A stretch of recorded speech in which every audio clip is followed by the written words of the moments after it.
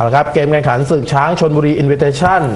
2012อ่า2013 นะครับครับในนัดสุดท้ายของรอบแบ่งกลุ่มวันนี้นะฮะ คู่ที่ 2 ครับ เป็นการพบกันระหว่างปูซานไอปาร์คนะครับ ทีมอันดับ 7 จาก K League นะครับ วันนี้เจอกับแชมป์ไทยพรีเมียร์ลีกอย่าง SCG เมืองทองยูไนเต็ดนะครับ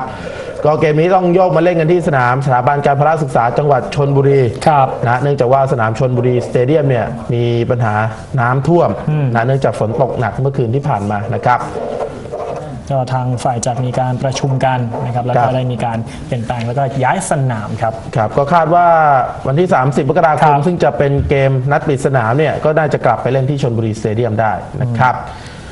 เอาละนักเตะของทั้งสองทีมก็ลงสู่สนามเป็นที่เรียบร้อยแล้วนะครับ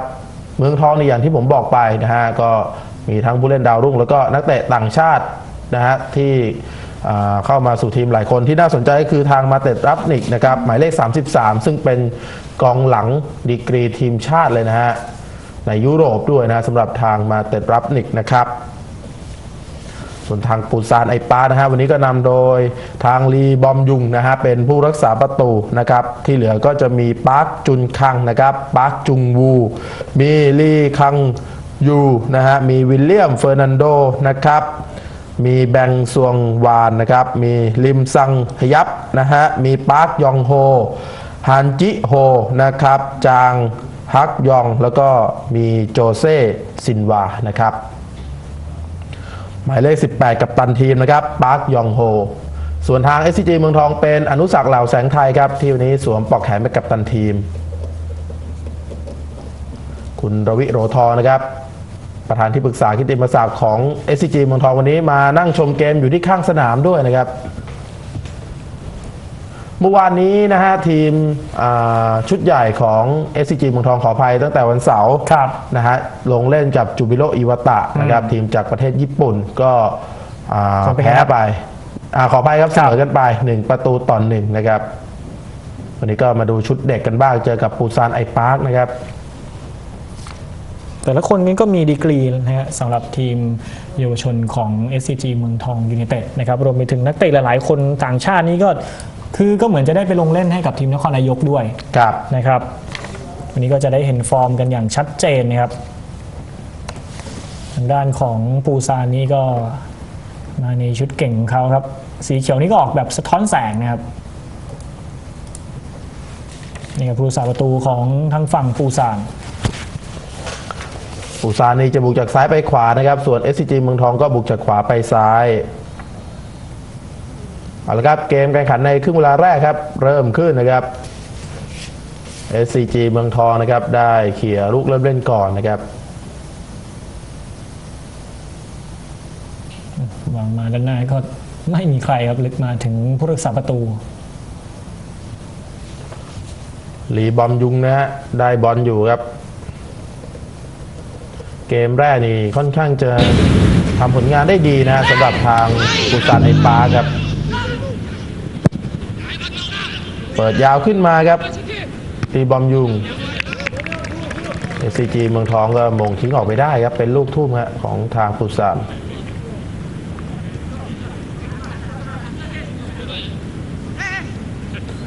ปางจุงคังครับทุ่มเข้าไปตรงกลางบอลอยู่ที่โจเซ่ หมายเลข 51 นะครับ โจเซซินวาครับศูนย์หน้าชาวบราซิลปูซานไปขึ้นเกมกันทางซ้ายนะครับจางฮักยองครับคืนกลับหลังมาตั้งกันใหม่บอลมาอยู่ที่ปาร์คยองโฮปาร์คยองโฮครับ เปิดยาวขึ้นหน้ามา เก็บบอลได้ด้วยนะครับปูซานไอปาร์คไหลมาทางขวาครับ โจเซซินวา จังหวะนี้ล้มไปเองครับแม่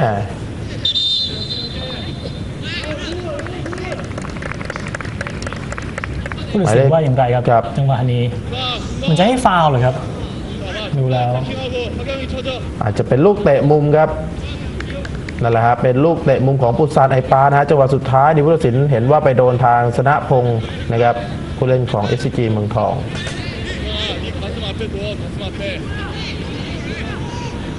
เตะมุมครั้งแรกเลยครับ ของปูซาน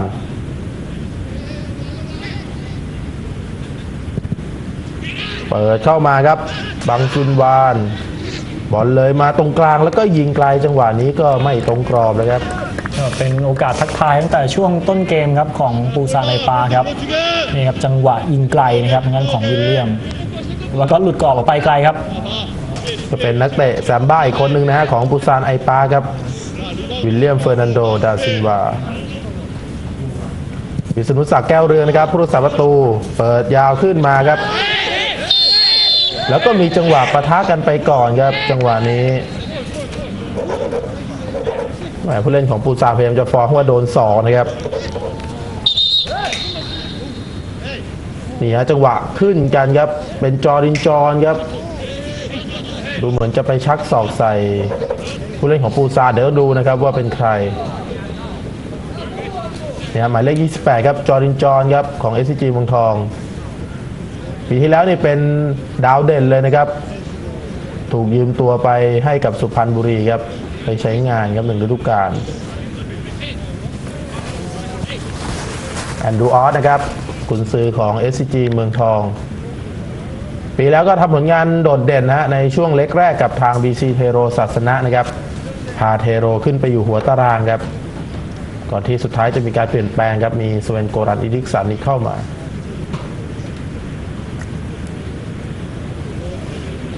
จอร์ดินจอนี่ทำท่าบอกว่าแม่ยังไม่ทันทำอะไรเลยนะครับ ลุกขึ้นมาได้แล้วนะครับ คนที่ลงไปเจ็บก็เป็นบังซุงวานนะครับ วันนี้เนี่ยดูแล้วปูซานไอปาร์คก็ ใช้ชุดสำรองเล่นเหมือนกันนะฮะเพราะมีการปรับเปลี่ยนจากชุดตัวจริงในเกมแรกนี่เยอะครับ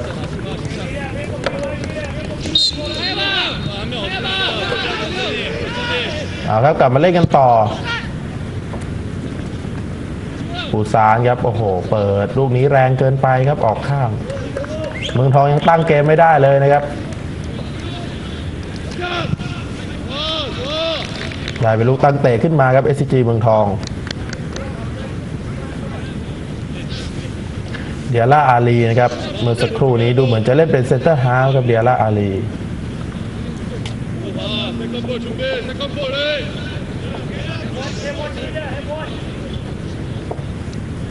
ตั้งแต่ขึ้นมาใหม่นะครับ วิษณุศักดิ์เปิดยาวขึ้นหน้ามาปูซานครับมงได้บอลอยู่ที่เดียร่าอาลี จ่ายทะลุช่องมาจังหวะนี้ ล้ำหน้าไปก่อนครับ จอรินจอนครับล้ำหน้าไปได้ลุ้นเลยทีเดียวครับจังหวะนี้ SCG เมืองทองตำแหน่งยืนของจรินจรนี้ล้ำไปนิดเดียวเท่านั้นครับ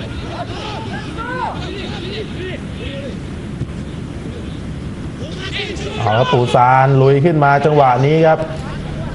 โจเซ่ครับ เปิดเข้าไปเสาไกลแล้วก็ออกมาชกได้ครับวิษณุศักดิ์แถว2ยังได้อยู่ปูซานยิงโอ้โห โดนไม่เต็มอีกครับผ่านมา 5 นาทีเศษๆนี้ต้องยอมรับครับว่าปูซานในปาล์มนี้ตั้งเกมได้ดีกว่านะครับเรามีโอกาสลุ้นทำประตูนะครับจังหวะนี้ก็พลาดไปครับยิงแบบทักท่าเลยครับจังหวะนี้ เป็นลิมซังฮับนะฮะ ที่ยิงเมื่อสักครู่นี้ครับ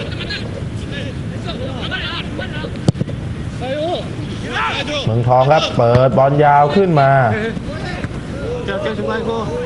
ข้างไปนะครับ เป็นลูกทุ่มครับของทางเมืองทองอาเทรับนิกครับเมื่อสักครู่เปิดยาวขึ้นมา โอ้โห แล้วจังหวะนี้ครับหงายปุ่มเข้ามาอันตรายเลยครับปาร์คจูคังปาร์คจุนคังนะครับ ใส่ทางจอรินจอนครับ โอ้โห ล้มทั้งยืน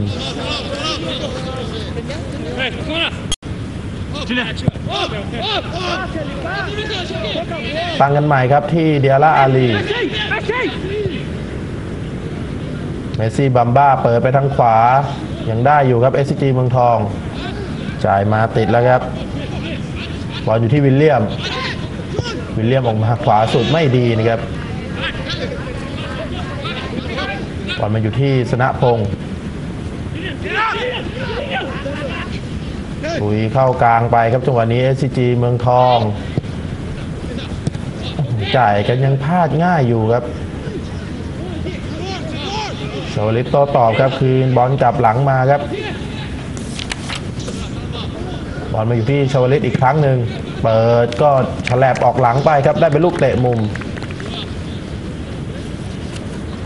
ก็ จะเป็นเตะมุมครั้งแรกนะครับของทางด้าน SCG เมืองทองครับ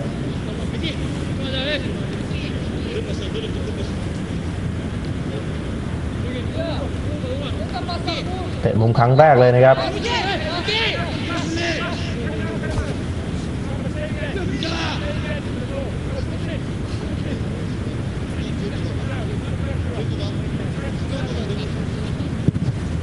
เปิดยาวเข้ามาจังหวะนี้เข้ามือของลีบอมยุงครับ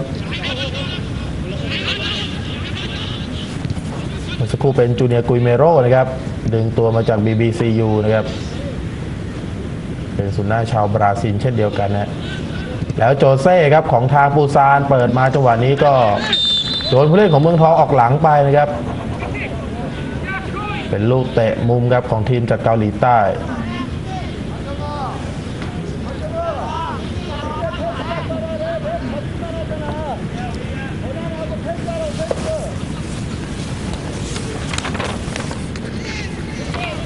สำหรับการถ่ายทอดสดในครั้งนี้นะครับก็ต้องขอบคุณครับนมไทยเดนมาร์กครับรถจักรยานยนต์ซูซูกิเมืองไทยประกันชีวิต กระเบื้องตาเพชรปูนซีเมนต์ไทย และทีวีมอนะครับเอาครับมาลุ้นจากลูกเตะมุมครับทางด้านของปูซานในปาร์คเติมขึ้นมาแล้วครับแนวรับของปูซาน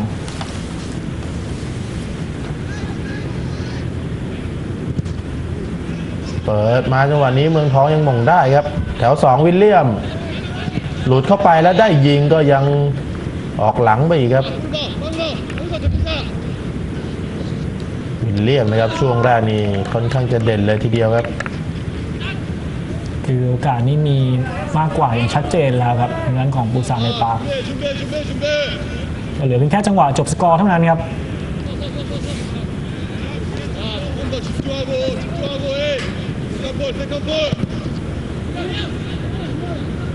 เปูซานยังเก็บบอลได้นะครับ ทางซ้ายวิลเลียม เปลี่ยนแกนครับวิลเลียมมาขึ้นทางขวา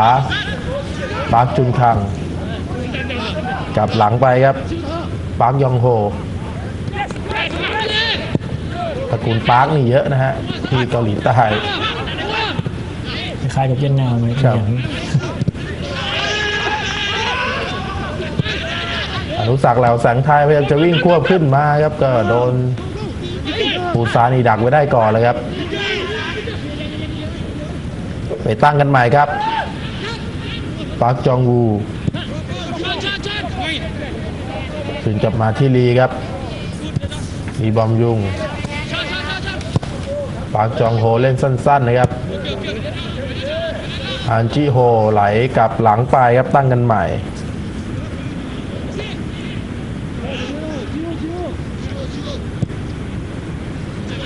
อลมาอยู่ที่กัปตันทีมครับปาร์คยองโฮอีกครั้งหนึ่ง มาทางขวาปาร์คจูคัง แล้วก็ได้ฟาวครับอนุสักครับไปทำฟาว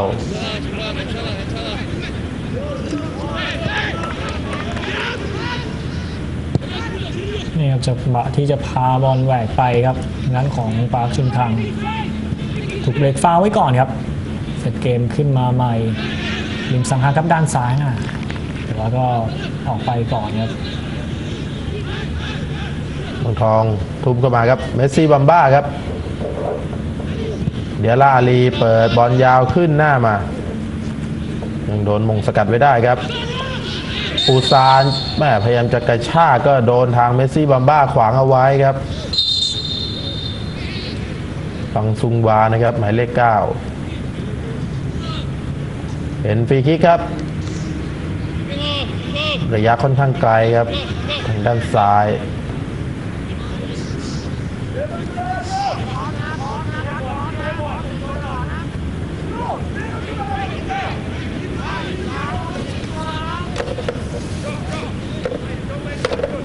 คนยิงจะเป็นทางปาร์คจุงวูครับ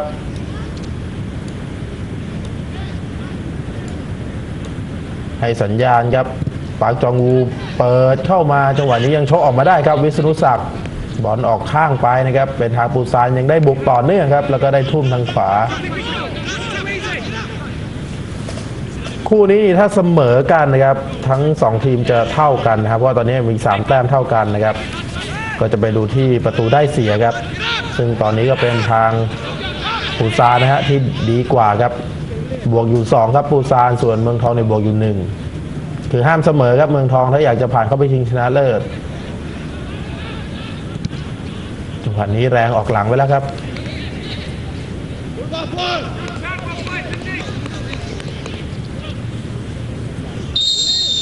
เกมผ่านไป 12 นาทีสกอร์ก็ยังเสมอกันที่ศูนย์ประตูต่อศูนย์นะครับ แต่ถ้าดูจากรูปเกมแล้วนะครับฝ่ายที่ครองบอลได้มากกว่านี่ก็เป็นปูซาในป่าครับ บอลอยู่ที่มาเต็ดรับนิกครับในเกมแรกนี่ไม่มีชื่อนะครับ ครับวันนี้ลงตำแหน่งตัวจริงนะครับ คนทำประตูให้เมืองทองในเกมแรกก็ไม่อยู่นะฮะวันนี้เปโดซ่าการานเป็นแค่ตัวสำรองครับ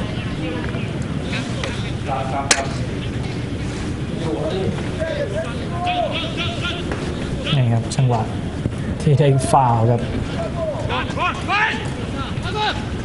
ตั้งเกมกันใหม่ครับทางด้านของปูซานในปาร์ค Defensive, defensive.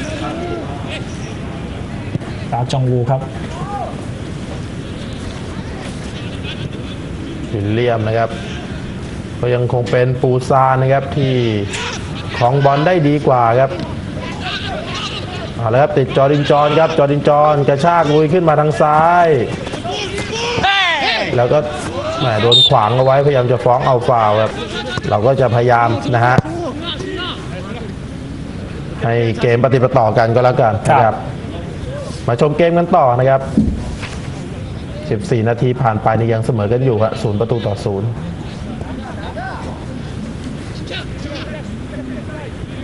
ก็ยังคงเป็นบอลของปูซานในปาร์คนะครับดูแล้วก็จะเคาะอยู่ในแดนของตัวเองซะส่วนใหญ่นะครับบอลอยู่ที่โจเซ่ครับเข้ากลางไป ปูซานเองก็ไม่ได้โหมบุกหนักมากนะครับ พยายามต่อบอลกันไปเรื่อยๆครับ ไม่ได้ก็คืนกลับหลังตั้งกันใหม่ครับ วิลเลียมโจเซ่คืนกลับหลังไปครับฮันชิโฮ เปิดเข้ามายังโดนสกัดมาได้ครับ บอลมาอยู่ที่จอรินจอนจ่ายมาจังหวะนี้อนุสักครับ ลุยขึ้นมาทางซ้าย คืนกลับหลังมาครับ จอร์ดินจอนเข้ากลางไปเมสซี่บัมบ้าจ่ายมาอนุสักเอาละครับ เมืองทองลุยขึ้นมาจูเนียร์กุยเมโรครับ มาทางด้านซ้าย จอร์ดินจอนเปิดยาวเข้าไปไม่ดีครับ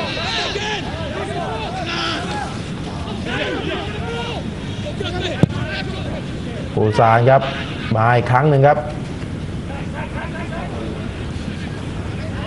ยิงซัมยักษ์ครับไหลมาแล้วเปิดเข้ามาในขอบเขตโทษไม่มีใครอีกแถวสองยังคงเป็นของปูซานฮะวิลเลียม ตั้งป้อมยิงก็ยังติดบล็อกเลยครับ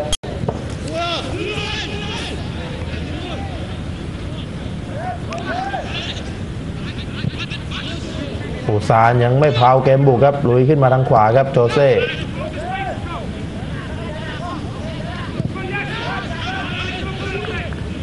ก็ยืนกันเต็มแล้วครับเกมรับของ SCG เมืองทองค่อยๆหาช่องต่อบอลเข้าไปครับเปิดมาจังหวะนี้ก็ติดมาเตส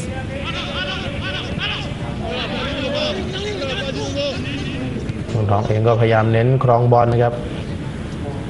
แต่รับนี่ครับเป็นทีมชาตินะครับชุดยู20 ของสโลวีเนียนะครับครับดีกรีนี้ไม่ธรรมดาครับ แต่ ดูแล้วก็เหมือนจะส่งให้กับนครนายกใช้งานครับ นะครับในเกมนี้เมืองทองเองชุดใหญ่นะก็ต้องบอกว่าผู้เล่นต่างชาติตอนนี้ก็เต็มทีมไปหมดนะครับครับสำหรับรับนิกเองนี่ก็อายุยังน้อยครับ ก็เอาไปขุนก่อนนะฮะในทีมชุดเล็กบอลอยู่ที่วิลเลียมอ่าจ่ายไม่ดีครับจังหวะนี้ เกมก็ยังดูเหนื่อยๆครับทางด้านของ SCG เมืองทอง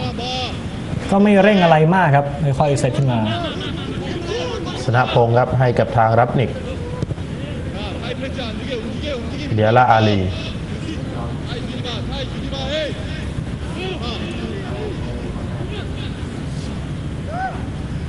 ลูกนี้ครับบอลออกข้างไปครับเป็นลูกทุ่มของทางเมืองทองหมายเลข25 นะครับโชลิตโตต่อ อนุสักดิ์คืนกลับหลังมาครับตรงกลาง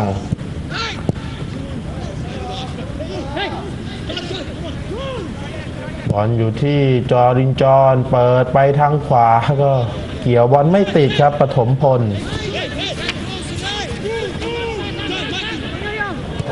พอมีจังหวะได้บุกขึ้นมาเนี่ยส่วนใหญ่ก็จะทำบอลเสียกันง่ายนะครับเมืองทอง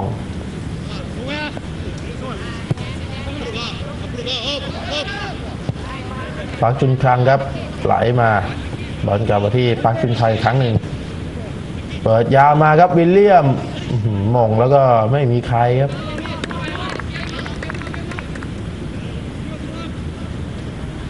วิลเลียมนะครับ วันนี้ก็ถือว่าโดดเด่นเลยทีเดียวครับของทางฟุตซานชาวลิตเปิดยาวขึ้นหน้ามาครับ ไม่มีใครครับเมืองทองต้องเตะทิ้งออกมาก่อนครับปูซาน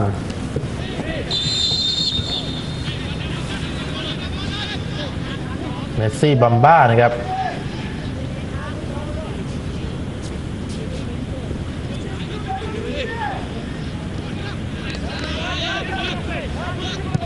ปูซานตั้งกันใหม่นะครับ ปาร์คยองโฮครับไหลมาทางขวา ปาร์คจุนคัง จ่ายเข้ากลางมาโจเซ่แล้วก็ปั๊มกันอีกแล้วครับลูกนี้ เข้าทั้งหน้าทั้งหลังเลยครับ แล้วก็นอนเจ็บลงไปเลยครับโจเซ่ซิลวาเอาขอไปครับโจเซ่ซิล่านี่ครับจังหวะที่โดนแซะจากด้านหลังก่อนแล้วก็อ่ายังมีทางด้านของสนาพงศ์ครับ เข้ามาด้านหน้าโอ้โหเจ็บเลยนะครับสนพงศ์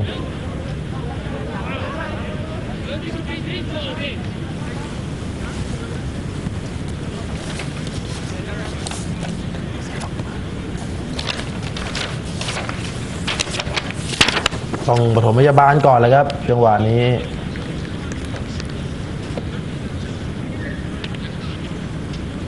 เลยยังไม่มีโอกาสครับโจลินจอนครับเมื่อสักครู่นี้นี่ก็ซุ้มมานั่งสำรองครับของปูซานในปาร์พวกเขามาในรายการนี้ประกาศแล้วนะครับว่าต้องการมาคว้าแชมป์นะครับ ครับ ไม่ได้มาเก็บตัวเล่นๆนะครับสำหรับปูซานในปาร์คคือก็ เห็นได้ชัดเจนนะครับ ช่วงต้นเกมนี้จังหวะ 50-50 นี้ก็ไม่ยอมถอยเลยครับอูซาเนปาได้ฟรีคิกนะครับ จังหวะนี้ครับยืนอยู่ที่ลูกเป็นปาร์คจุงวู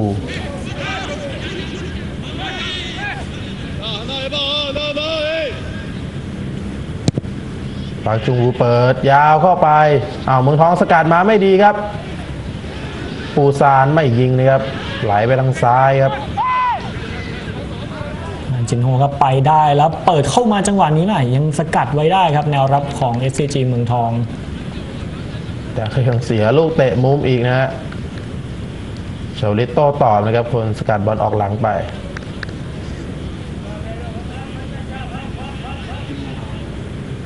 เดี๋ยวจะมาได้ลุ้นจากลูก set piece ครับ ก็รับผิดชอบลูกนิ่งหมดนะครับ หมายเลข4ของปูซานไอปาร์คครับปาร์คจองวู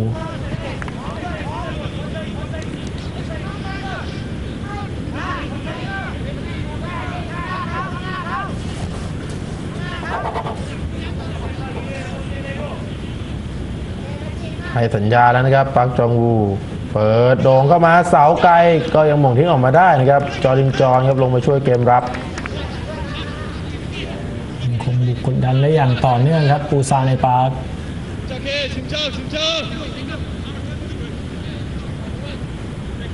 โจเซซินวาทุ่มเข้าไปครับ บอลเลยมาทางขวา เปิดเนี่ยเข้ามาแล้วโอ้โหเกือบเป็นประตูของทางปูซานะครับ จังหวะยิงของริมซังฮักนะครับนี่ครับไม่ล้ำหน้าด้วยครับ เปิดเข้าไปครับบางสุนลาโอ้เหมือนดูเหมือนจะยิงออกไปเองด้วยครับ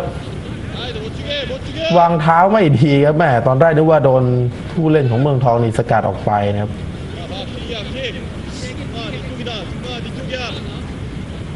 เป็นโอกาสอีกหนึ่งครั้งครับของบูซาในปาร์ที่จะลุ้นทำประตูครับ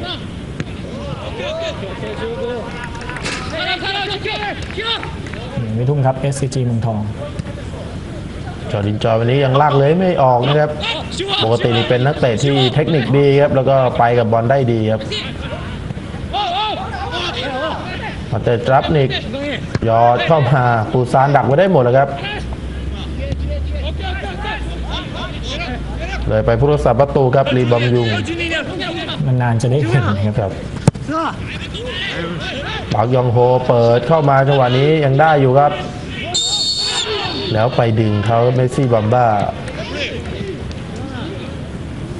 นี่ครับจังหวะที่เสียฟาวครับเดินแตะหลบไปแล้วครับทางด้านของแบบเมสซี่บัมบ้าหมายเลขยี่สิบสองนี้ก็ฮันจีโฮครับ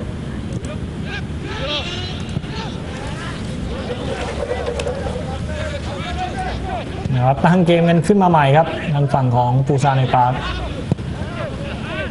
รักเยฮออาจจะอ้าวได้ฟาวอีกครั้งครับทางด้านของปูซานในปาร์คคราวนี้คนทำฟาวนี้เป็นโจลินจอนจะลงมาต่ำเหมือนกันครับ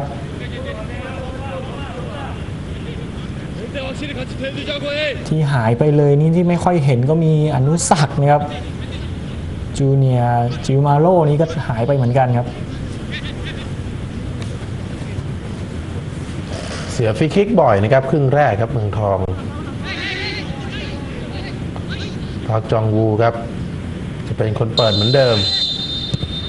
ตอนนี้เล่นสั้นนะครับ ไหลเข้าไปให้โจเซ่โจเซ่เปิดเข้ามาแนวรับเมืองทองก็ยังไม่พลาดนะครับ จอร์ดินจอนคืนกับหลังไปครับสนพงศ์ เปิดยาวขึ้นมาก็ไม่มีใครครับ คืออนุสาวนี่เป็นหน้าคู่กับทางจูเนียกุยเมโรก็ยังประสานงานกันได้ไม่ดีเท่าไหร่นะครับ ครับ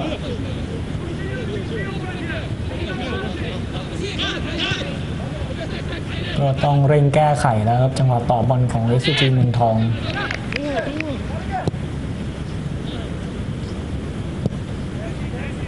เนี่ยทางฝั่งเขาก็ไม่เร่งเหมือนกันครับปูซานค่อยๆเคาะไปเรื่อยๆครับซ้ายไม่ได้ก็มาทางขวาครับ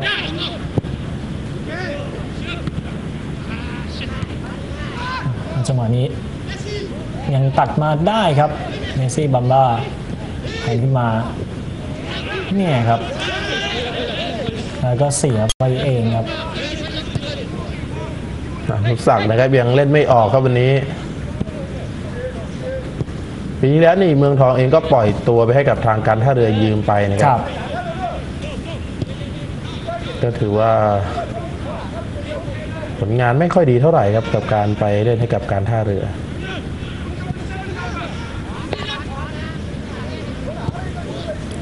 บอลอยู่ที่ปาร์คยองโฮครับกับตันทีม จ่ายเข้ามาตรงกลาง โจเซ่ครับ คืนกลับหลังมาขอกันใหม่ครับ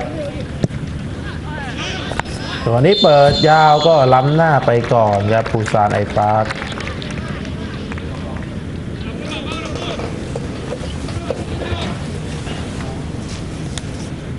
หมายเลขเก้านะครับ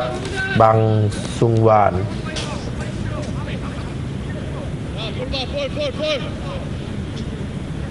ก็ยังไม่มีจังหวะยากๆให้ได้เซฟนงานของวิศนุศัก์ จะได้เปิดเกมขึ้นมาครับอะรูปร่างสูงใหญ่ครับแนวรับของปูซานในปาร์คแหมมีผู้เล่นเจ็บอยู่นะครับ แต่ว่าพยายามจะบุกต่อครับโจเซ่แล้วจังหวะนี้ก็โดนนาพงศ์ครับเตะอัดออกข้างไป วันนี้ลงไปนอนเจ็บหลายครั้งแล้วนะครับครับบังซุงวานเนี่ยนะือนจะมีใบเหลืองเกิดขึ้นด้วยเนี่ย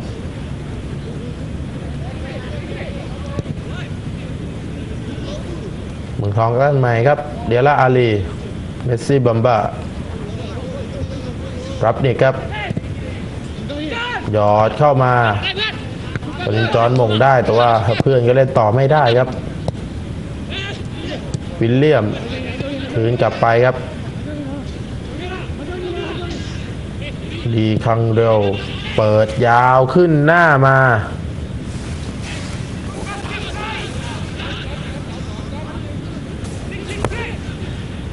ยังได้อยู่นะครับ ปูซานเปิดมาจังหวะนี้ติดแล้วครับ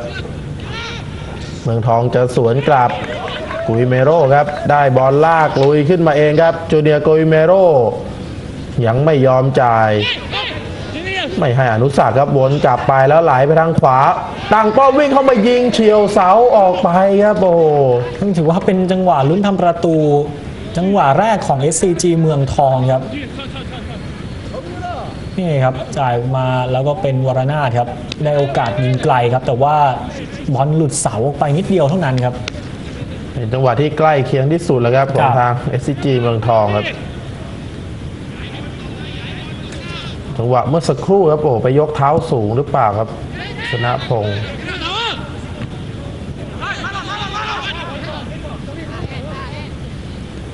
บอลอยู่ที่มาเตตรับนิก กลับไปที่เดียร่าอาลีก็เริ่มจะครองบอลได้บ้างแล้วครับ SCG เมืองทองเดียร่าอาลีครับออกมาทางซ้าย มาเตตรับนิกวรนาถทองเครือ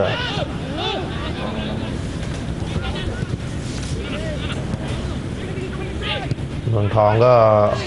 เริ่มจะคลองบอลได้บ้างแล้วนะครับ เปิดขึ้นมาจังหวะนี้สนาพงศ์บอลยังอยู่ตรงกลางสนามครับอ้าวแล้วมีจังหวะฟาวอีกแล้วเพราเป็นใบเหลืองด้วยครับกำลังจะผ่านครึ่งชั่วโมงนะครับของครึ่งแรก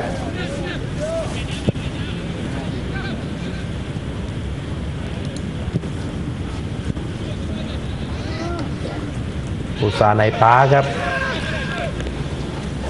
พวกเขานี่ดูแล้วเน้นความชัวนะครับ ขึ้นหน้าไม่ได้ก็จ่ายคืนกลับหลังครับ ไม่ยอมไม่ฝืนนะ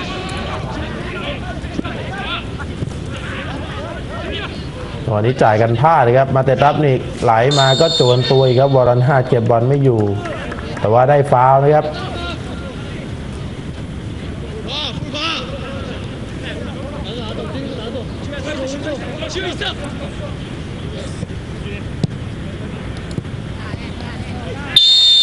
แล้วโดนทำฟาวอีกแล้วครับ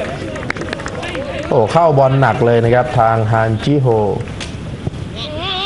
ไปเข้าใส่ทางกุยเมโรครับ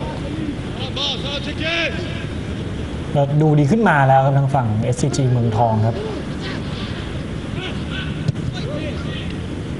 อ่าจังหวะนี้ก็ต้องเบรกไว้ก่อนครับทำเสียแล้วชาวลิตครับมา ทางด้านขวาครับปูซานอันจีโฮอะปั๊มบอลก็ยังเป็นของทางฝั่งปูซาน แต่ว่าจังหวะนี้ผู้ตัดสินไม่ว่าอะไรครับเจอรินจอนครับโอ้โหจังหวะนี้วิ่งมาเตะดื้อๆครับโจเซซินวา เอาใบเหลืองไปเลยครับ คือมีผู้เล่นของปูซาดีเจ็บอยู่ครับ แต่ว่าเมืองทองไม่เตะออกให้ครับ โจเซ่ก็ฉุนแทนเพื่อนนะครับ แกวิ่งมาเตะดื้อเลยครับนี่ครับจังหวะที่ประทะกันครับลงไปนอนครับโดนทางด้านของมาเตะรับสนิกครับชนเข้าไป แต่ว่าจังหวะนี้ครับโจเซ่ซิราครับมาตัดฟาวไว้ก่อนครับแล้วก็ใบเหลืองครับ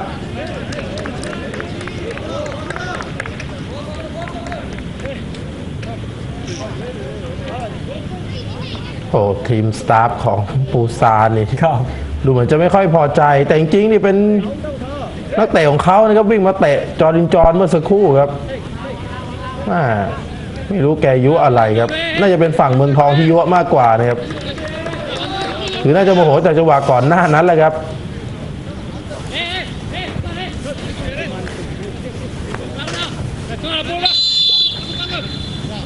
เอาครัจะได้ลุ้นจากลูกฟรีทิกเปิดเข้าไปครับทางฝั่งของ SCG เมืองทอง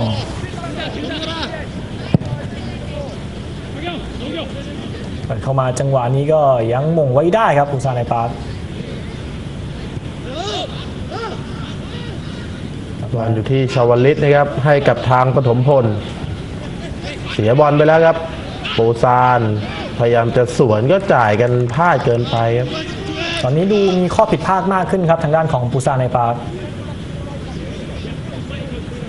บุรณาทองเครือครับ ไปตั้งเงินใหม่เดียร่าอาลี มาเต็ดรับนิก ไหลมาครับชนะพงศ์ชนะพงศ์เปิดมาจังหวะนี้ยังโดนทางปาร์กจุนคังนะครับ สกัดออกข้างไป จะเป็นบอลทุ่มของ SCG ครับ ลินจามาเข้าเร็วเหมือนกันครับปาจองวูก็ไม่ยอมให้เล่นง่ายครับ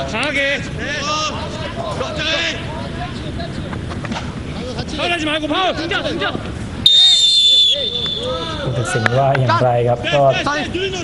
เป็นเจรินจอนครับไปทำฟาวครับปาร์จุนคังนี่ครับพยายามจะเปียกแย่งบอลแล้วก็ไปคว้าเอาที่เสื้อครับ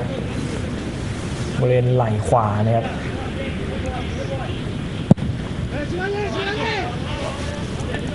หลีบอมยุงครับเปิดยาวขึ้นมา บอลอยู่ตรงกลางสนามนะครับกุยเมโรโดนเตะอีกแล้วครับโอ้โหบอลนี่จะไปฟาวกันอยู่ตรงนั้นตลอดเลยครับช้างจุนคังครับก็เป็นใบเหลืองอีกแล้วนะครับปาร์คจุนคัง เข้ามาเบรกเกมดื้อเลยครับ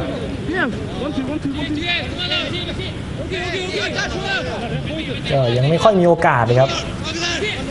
จูเนียจูมาโลนะครับ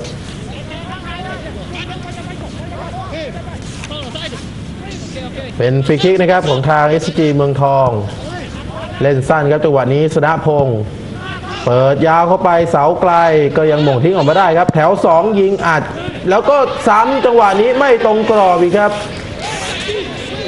เป็นอนุสักเหล่าแสงไทยนะครับ ยิงจังหวะสุดท้ายแต่ว่า ไม่เข้ากรอบครับ ไม่ล้ำหน้าด้วยนะครับ แนวรับของปูซานนี้ยังยืนลึกกันอยู่นี่ครับแต่ว่าเสียดายครับจังหวะที่ยิงนี้หลุดเสาออกไปครับคืออนุสักษ์เองก็ไม่คิดว่าบอลจะมาถึงเขาแหละครับครับจังหวะยิงเมื่อสักครู่นี้มาแต่รับนี่ครับเปิดยาวขึ้นมาตรงกลาง เก็บบอลไม่ได้ครับเมืองทองเกมก็เริ่มสนุกขึ้นแล้วครับ ทางฝั่งของ SCG เมืองทอง เริ่มตั้งเกมได้แล้วก็มีโอกาสลุ้นทำประตู เข้าสู่ช่วง 10 นาทีสุดท้ายแล้วนะครับของครึ่งแรกครับ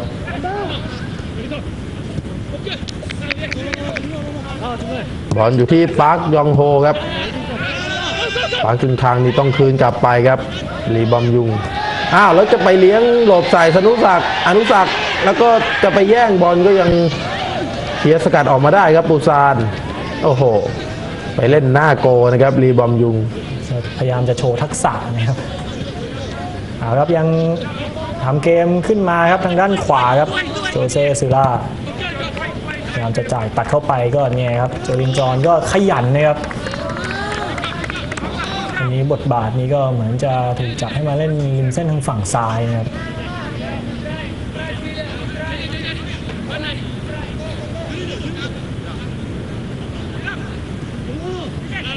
ตั้งกันตรงกลางนะครับ ทางปูซานปาร์คยองโฮครับ มาที่วิลเลียม วิลเลียมวางยาวขึ้นหน้าไปก็ยังมงสกัดออกมาได้บอลอยู่ที่เดียร่าอาลีคืนกลับไปครับ วิษณุศักดิ์เปิดยาวขึ้นหน้ามา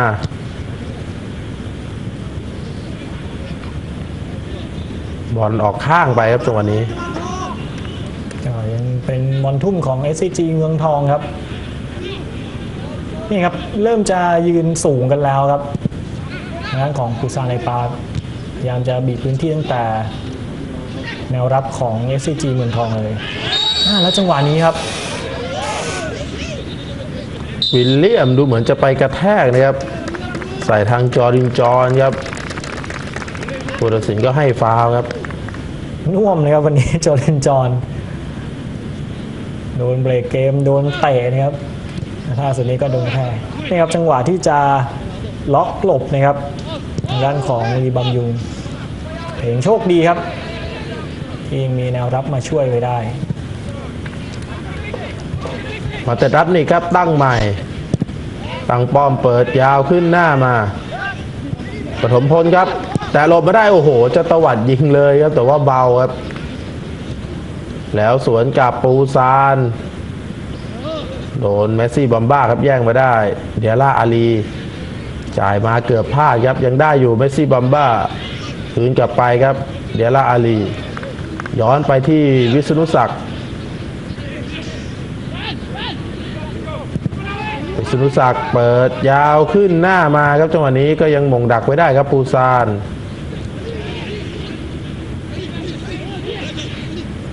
เดี๋ยวละอาลีครั้นครับตรงกลางสนามไหลมาวรนาถวรนาถทองเครือครับเล่นสั้นๆ จอรินจอนโอ้โหโดนปามอีกแล้วอ้าวแล้วจังหวะนี้หลุดมาเลยครับ ทางด้านของปูซานไอปาเข้าไปในกรอบเขตโทษยิงด้วยซ้าย ยังปัดไว้ได้ปลายมือนะครับ วิษณุศักดิ์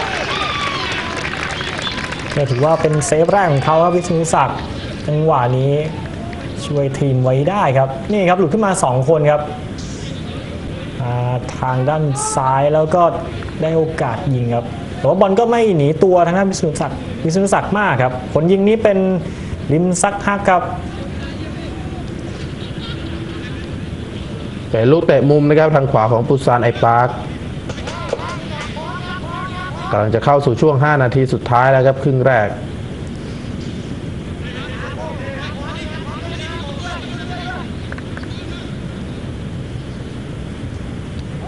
นี่ครับเติมขึ้นมาครับปาร์คยองโฮ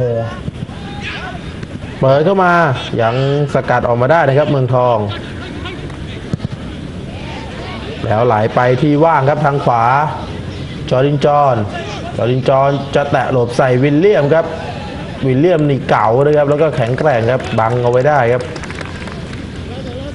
ปูซานก็ลุยกลับขึ้นมาทันทีนะครับริมซังยับ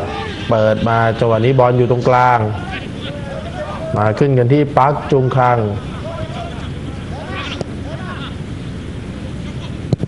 บางชุนคังยังได้อยู่เปิดยาเข้าไปเตะผิดเหลี่ยมนะครับมาเตะอัพนิกแล้ววิษณุศักดิ์ไม่ยอมให้ออกอ้าวแต่ว่าพุทธศิลป์บอกว่าบอลออกไปแล้วครับ สาววิ่งไปพักอกมาได้นะครับ แต่ว่าภูมิกับเส้นนี่บอกว่าบอลมันออกเส้นหลังไปแล้วครับก็จะได้เตะมุมอีกครั้งในช่วงท้ายเกมครับปูซาในปาร์ มุมนี้ก็ ครั้งที่ 5 แล้วนะครับ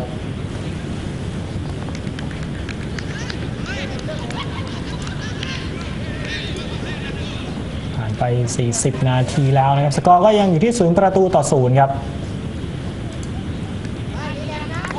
ปาร์คจองวูครับให้สัญญาณกับเพื่อนร่วมทีม เปิดหน้าค่อนข้างที่ไปเสาไกลได้มงครับ แต่ว่าก็ยังขวางไว้ได้ครับ ยิงซ้ำอีกหนึ่งจังหวะก็ไม่เข้ากรอบครับ ได้ลุ้นเลยทีเดียวครับทางด้านของปูซานในปาร์คฮานจิโฮนะครับยิงเมื่อสักครู่นี้ครับแต่ว่าไม่ตรงกรอบเนี่ยจังหวะเปิดมุมโด่งเข้าไปเสาไกลครับหมงจังหวะแรกยังติดอยู่ฮันจิโฮวิ่งมากดด้วยซ้ายบอลนี่เฉียวเสาออกไปครับก็ต้องชมตำแหน่งในการยืนเกมรับของ s c g เมืองทองด้วยนะครับเมื่อสักครู่นี้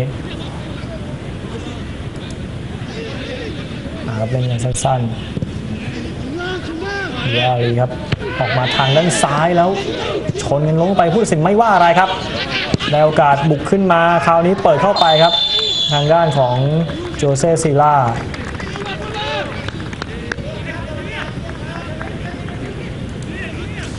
บางซุนวานี่ก็เงียบไปเหมือนกันครับศูนย์หน้าของทางฝั่งปูซานในปาร์คอยู่ในตำแหน่งล้ำหน้าแล้วครับจังหวะนี้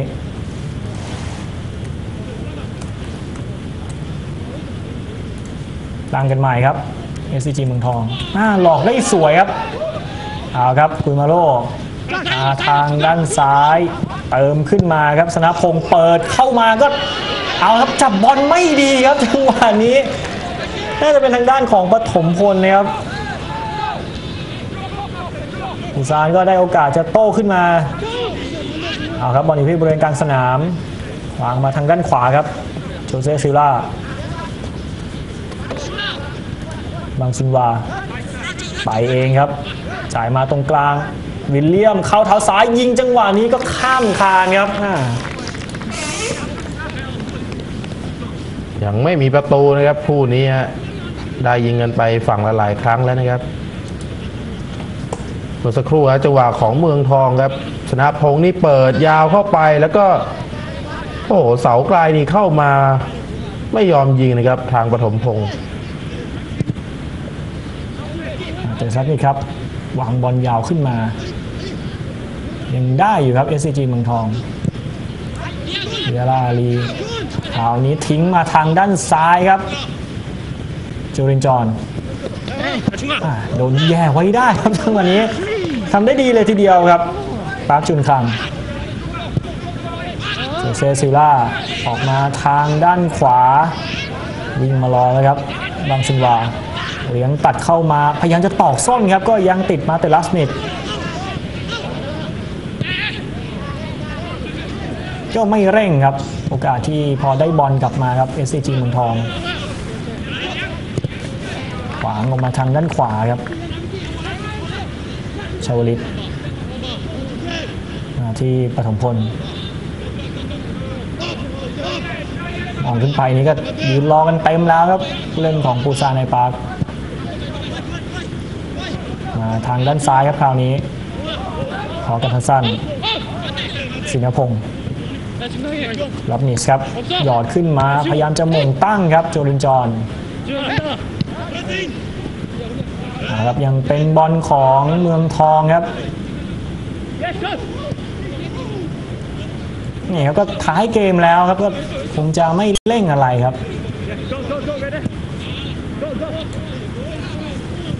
ดูแล้วนี่คงต้องไปว่ากันใหม่นะครับ ในครึ่งเวลาหลังครับคู่นี้ทดเวลาการแข่งขันในครึ่งเวลาแรกสองนาที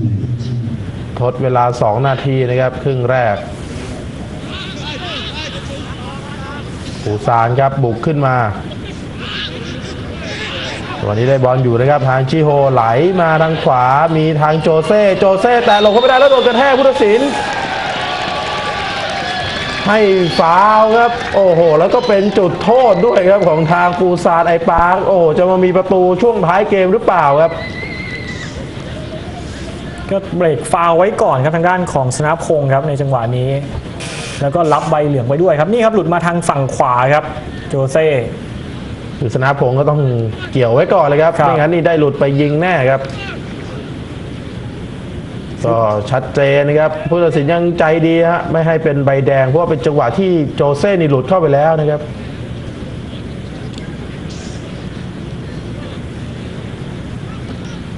แล้วมาลุ้นจุดโทษจังหวะนี้ครับของทางปูซานไอปาครับ คนยิงครับจะเป็นบางซุนวาน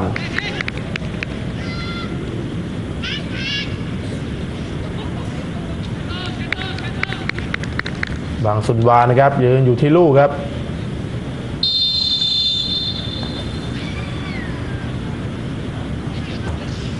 แล้วก็วิ่งมายิงจังหวะนี้เรียบร้อยครับ ขึ้นนำหนึ่งประตูต่อศูนย์นะครับ วิษณุศักดิ์วิ่งพุ่งไปถูกทางครับ แต่ว่าเซฟไม่ได้นะครับ ก็ขึ้นนำหนึ่งประตูต่อศูนย์นะครับ ในครึ่งเวลาแรกสำหรับทางปูซานไอปาร์คนะครับ เป็นจุดโทษนะครับในช่วงทดเวลาครับบังซุงวานยิงเข้าไปนะครับเสียดายเลยครับทางด้านของวิศนุศักดิ์คือมาถูกทางนะครับเนี่ยครับแต่ว่ามันปลายมือจริง ๆครับ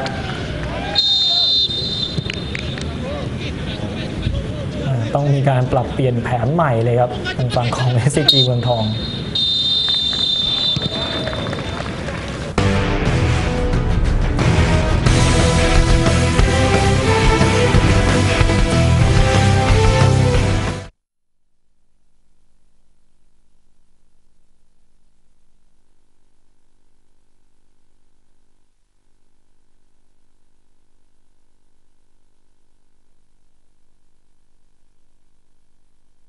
ก็จบ ครับ45 นาทีแรกไปนะครับครัคู่บระหว่างปูซานไอปาร์คกับทาง SCG เมืองทองนะครับ ก็เป็นทางปูซานนะฮะที่ขึ้นนำอยู่หนึ่งประตูต่อศูนย์นะครับ ครับ ต้องดูว่าทั้งคู่นี่จะมีการปรับเปลี่ยนผู้เล่นยังไงกันบ้างนะครับ จากในครึ่งแรก ครึ่งหลังนะครับ SCG เมืองทองก็จะบุกจากซ้ายไปขวาครับ ส่วนปูซานก็จะบุกจากขวาไปซ้าย ก็ยังคงได้เปรียบกว่านะครับทางฝั่งของปูซาน ดูแล้วเหมือนจะยังคงใช้ผู้เล่นชุดเดิมกันทั้งสองทีมนะฮะครับ นักเตะตัวหลักๆ ก็ยังอยู่ครับในครึ่งหลังครับ ที่เห็นนี่ก็ของทางปูซานนะฮะทั้งโจเซ่แล้วก็วิลเลียมยังอยู่เอาละครับเกมในครึ่งหลังเริ่มขึ้นนะครับ ครึ่งหลังนี่ก็เป็นปูซานครับที่ได้เขี่ยลูกเล่นเล่นก่อนนะมาตั้งเกมกันนะครับ จางฮังยอง ลากลุยขึ้นมาทางด้านซ้ายนะครับ ลิมซังยับ เปิดเข้าไปตรงกลางจังหวะนี้ปั๊มกันนะครับ บอลมาอยู่ที่ทางเมสซี่บัมบ้า เมสซี่จ่ายสั้นไปอีกครับ แล้วปูซานสวนกลับขึ้นมา บอลอยู่ตรงกลางสนามแล้วก็ได้ฟาวล์ก่อนครับไม่เหมือนส่งสัญญาณอะไรสักอย่างครับทางด้านผู้เล่นของ SCG เมืองทองเมื่อสักครู่นี้ครับ แล้วดูเหมือนจะเจ็บครับ อนุสักเหล่าแสงไทยเหมือนจะไม่ไหวนะครับ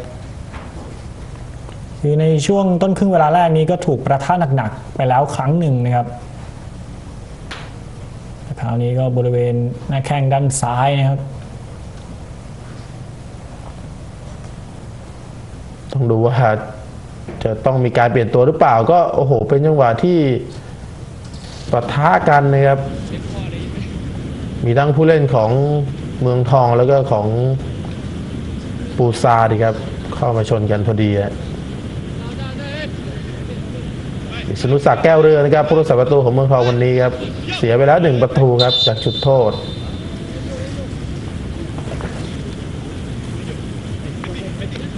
เมื่อสักครู่พยายามจะเล่นเร็วนะฮะสำหรับทางปูซาผู้ตัดสินให้เล่นใหม่ มาขึ้นเกมทางซ้ายครับ ทางจังฮักยองเปิดเข้าไปก็ยังติดอยู่นะครับ บอลอยู่ที่ชาวลิตวรนาถเปิดมาจังหวะนี้ก็ออกข้างไปอีกครับ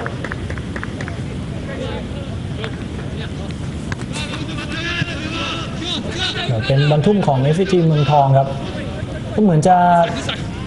ยังไหวนะครับางท่านของอนุสักดิ์ลุกขึ้นมาได้แล้ว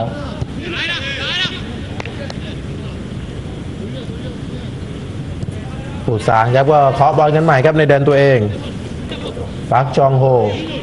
ไหลไปทางขวาครับปาร์คจุนคังลากตัดเข้าในมาจังหวะนี้ให้กับปาร์คจุงวู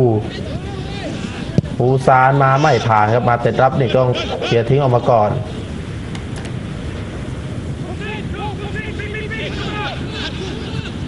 ปูซานทำเกมขึ้นมาอีกทีนึงครับ ทางขวา ตัวนี้โดนจับล้ำหน้าไปก่อนแล้วครับยืนอยู่ใกล้ๆเลยครับนี่ครับผู้ทำประตูให้กับทางด้านของปูซานในปาครับ อันนิดเดียวเท่านั้นครับ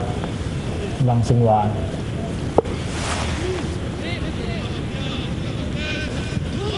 เดินกันสั้นๆครับทางฝั่งของเมืองทอง เตดรัสนี่ครับยาวขึ้นมายังหม่งไว้ได้ครับปาร์คยองโฮจังหวะนี้ถูกทำฟาวครับบุรณาทองเครือนี่ครับจังหวะที่บังแล้วก็ไปโดนวิลเลียมครับ กระแทกลงลงไป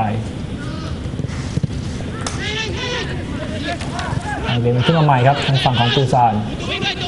าครับบังซุนวา ออกมาทางด้านซ้ายครับที่วิลเลียมพยายามจะแตะแล้วก็เป็นฟรีคิกของทางฝั่งปูซานไอปาร์คครับ ดูจากระยะแล้วค่อนข้างอันตรายครับ นี่ครับวิลเลียมพยายามจะให้กับโจเซ่ซิล่าครับแต่ก็ถูกเดียเดียร่าอาลีครับตัดฟาวล์ไว้ก่อน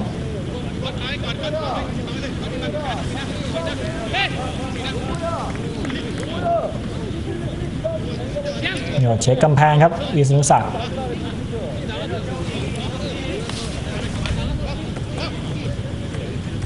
กำแพงนี้ห้าคนครับคงจะเป็นเนี่ยครับหมายเลขสี่ครับปาร์คจองวูครับตัวเตะลูกนิ่งของปูซานในปาร์ค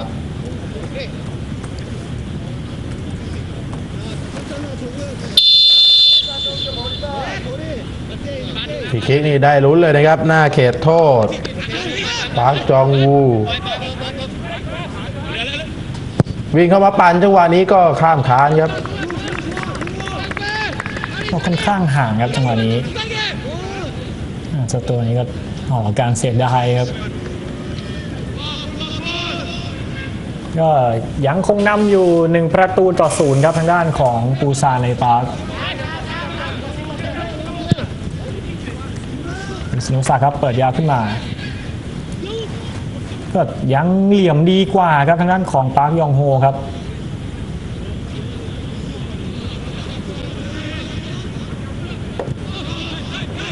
ทางเกมกันใหม่ครับเมซี่บัมบ้าออกมาทางฝั่งขวาครับชวลิต ขึ้นไม่ได้ก็เซตกันใหม่ครับ เดียร่ารีออกมาทางด้านซ้ายนะเกี่ยวติดด้วย และจังหวะนี้มาโดนบังไว้ครับปฐมพล โยกจากขวามาซ้ายบ้างแล้วครับ นี่ครับ เกี่ยวแล้วก็พยายามจะพลิกแต่ยังมีทางด้านของปาร์คจุนคังครับบังไว้อยู่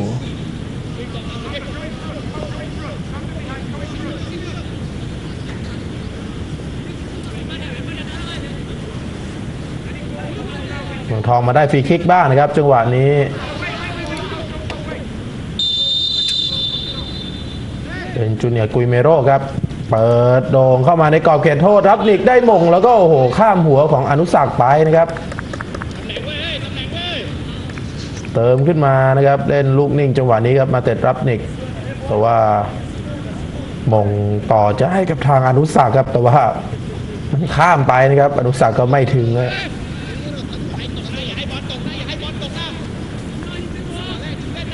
รีบำยุงครับ จะเปิดขึ้นมา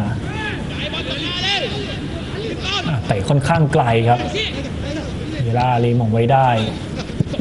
วิยามาทางฝั่งซ้ายครับ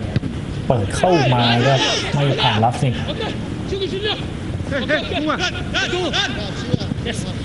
ปูซานยังได้อยู่นะครับทางซ้าย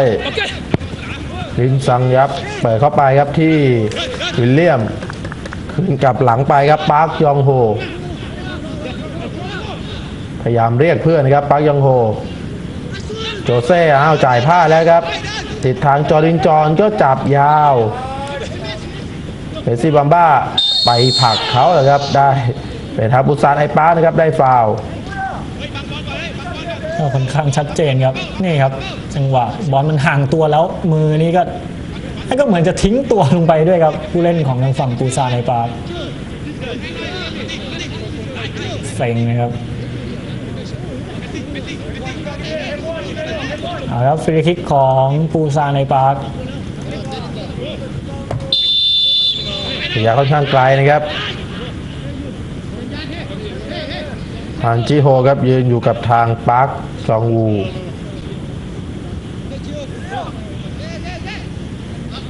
เป็นทางจิโฮยิงไกลลูกนี้โอ้โหเฉียวคานไปนิดเดียวครับเกือบได้ลุ้นเหมือนกันนะครับจังหวะนี้นี่ครับจังหวะยิงของฮานจิโฮครับเท้าขวาแต่ว่าหน้าบอลหลุดเสาไปอย่างน่าเสียดายครับสนุกครับเปิดยาว เบรกเกมกันค่อนข้างบ่อยครับ ในช่วงครึ่งเวลาหลังจังหวะนี้ก็ถูกทำฟาวครับ โจเซซิล่าเล่นกันสั้นๆครับอาจิโฮมาทางด้านซ้าย จางฮังยองมีซัมยักษ์ครับ เอาละครับ ไปเองแล้วไม่ผ่านทางด้านของชาวลิตครับ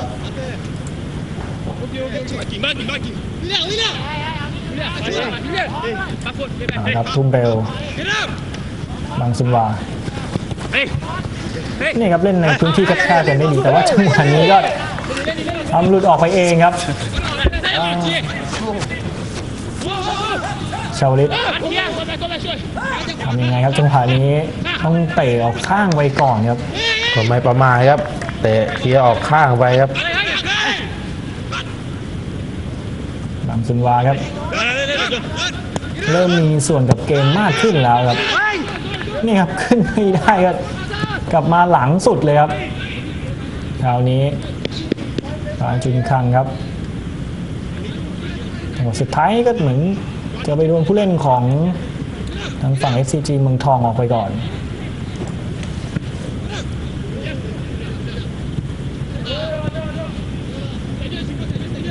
ค่อยๆเคาะบอลกันในแดนตัวเองนะครับปูซาน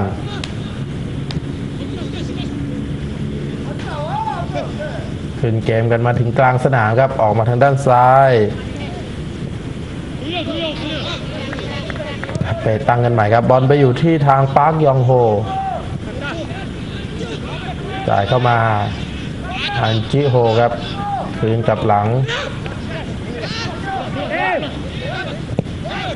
วันนี้เมืองทองโอ้โหเกือบจะแย่งได้อ้าวแล้วครับ ตัดมาจังหวะนี้ครับทางจอรินจอนเข้ากลางไปครับ วิเมโรแล้วก็สุดท้ายก็เสียบอลไปครับ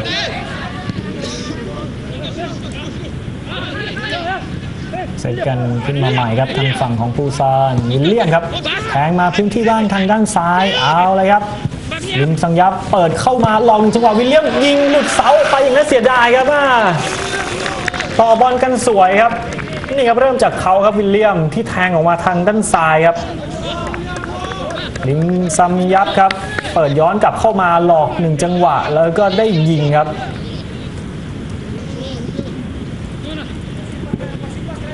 เริ่มครึ่งเวลาหลังมานี้เป็นทางฝั่งของปูซานนี้มีโอกาสลุ้นทำประตูมากกว่าครับยีราลีครับเปิดยาวขึ้นมาชาวลิตเลยฟาวล์ครับจังหวะนี้ เนี่ยเป็นวิลเลียมดาซิวาครับไปทำฟาวล์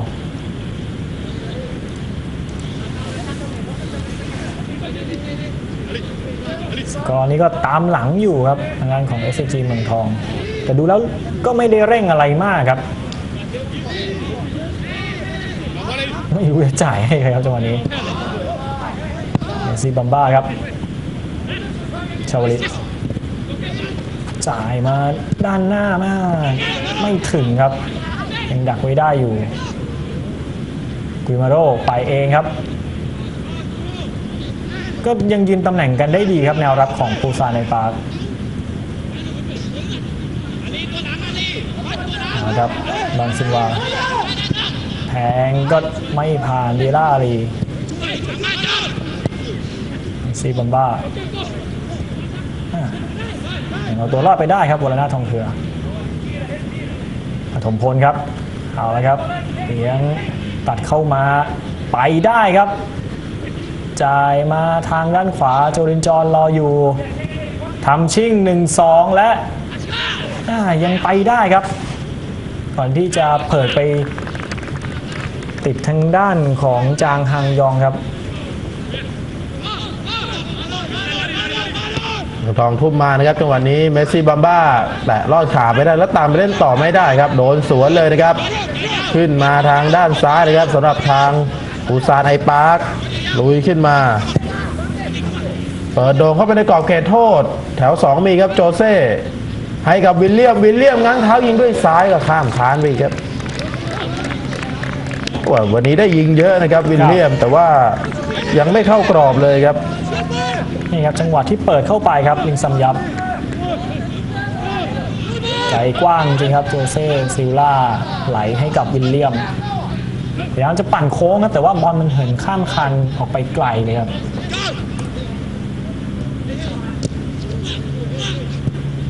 เป็นซีบัมบ้าครับมาทางด้านขวาจูรินจอนนี่ครับพอช้าเขาก็เดินลงมาเต็มพื้นที่แล้วครับ จ่ายก็ไม่ดีครับจังหวะนี้ ใส่เป็นใหม่ครับลีคังเลียวมาที่หน่อยนะมาพัดมามามาพัดมาปาร์คจุนคังครับจ่ายเข้ามาตรงกลาง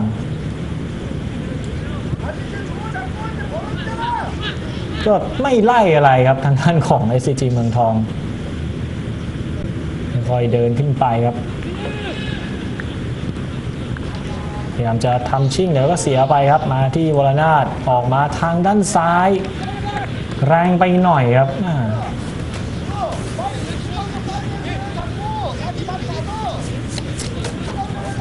แล้วก็ดูเหมือนจะมีการเปลี่ยนตัวสำรองลงมาเพิ่มนะครับครับ SCG เมืองทองกำลังจะเข้าสู่ช่วง6นาอ่า60 นาทีนะครับของการแข่งขันครับ จังหวะนี้โจเซ่ครับแย่งบอลมาได้ แล้วเปิดบอลยาวขึ้นหน้ามา เมืองทองยังตัดได้นะครับ บอลมาอยู่ที่วิษณุศักดิ์เดียร่าอาลีเปิดยาวขึ้นมาจังหวะนี้ยังได้อยู่ครับวรนาทองเครือ แต่ว่าสุดท้ายก็โดนปูซานครับแย่งกลับไปหานจิโฮครับทางด้านซ้าย ยิงกับหลังไปตั้งกันใหม่เลยครับปูซาน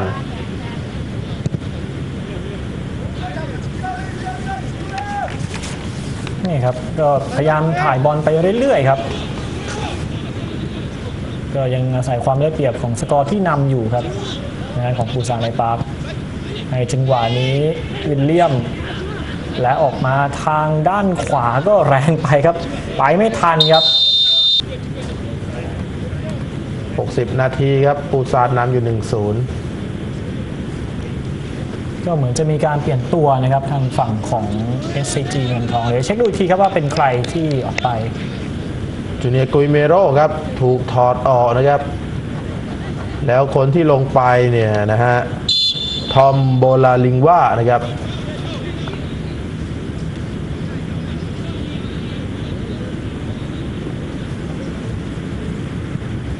ผู้เล่นผิวสีตอนนี้ของเมืองทองก็จะมี 3 คนนะครับครับเอาผู้เล่นหมายเลขสามสิบสองทางเดียร่าอาลีนะครับเมสซี่บัมบ้า แล้วก็ทอมโบลาลิงวานะครับและส่งผู้เล่นหมายเลขสิบเก้าทอมโบราลิว่าลงเล่นสนามก็เล่นกันสั้นๆครับ เล่นยากไปหน่อยครับทางด้านของปฐมพลบอลเป็นของปูซานในปาร์คอันจิโฮเอาละครับจ่ายพลาดบ้างเหมือนกันครับ ลงมานี่ก็ได้บอลเลยครับทางด้านของทอมรับไปเตะเขาครับอ่าเดี๋ยวนี่ครับตื่นสนามอยู่ครับก็มาถึงก็เตะเขาเลยนะครับจังหวะนี้ ดูครับโอ้โห ไปเตะตรงก้นด้วยนะครับ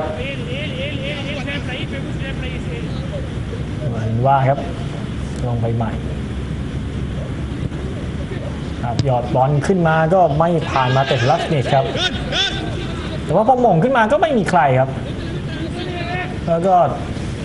ไม่ไล่บีบพื้นที่ครับ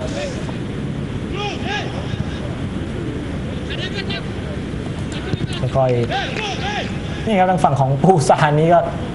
คือไม่เร่งเหมือนกันครับ เกมมันก็เลยดูแบบจะเหนื่อยๆไปยังหม่งไว้ได้ครับจังหวะนี้ วิลเลียมออกมาทางด้านซ้ายครับ ยังมีเวลาครับทางด้านของลินซันยับทางจีโฮเอาครับยังไปได้อยู่ครับ มาที่วิลเลียมพยายามจะแต่หลบเดียร่าอาลีและล้มลงไปผู้ตัดสินไม่ว่าอะไรครับ บังซึนวาจ่ายย้อนกลับมาจังหวะนี้ก็โดนดักไว้ครับ มาเตะรัสมิสมาที่ปฐมพล ลากและน่าจ่ายไม่ดีครับ แต่ว่ายังโชคดีครับจังหวะนี้เอาครับโบราลินว่า นี่ครับข้อผิดพลาดของทางฝั่ง SCG เมืองทองครับการจ่ายบอลครับ passe Ok, ok. Lève-toi, lève-toi, บุษานะครับตั้งเกมกันใหม่ครับทางซ้ายบาร์กจองวูคืนกลับหลังไปครับ จางฮักยอง ปาร์กยองโฮครับกับตันทีมปาร์กชุนคังจ่ายเข้ากลางฮันจิโฮปาร์กชุนคังอีกครั้งหนึ่ง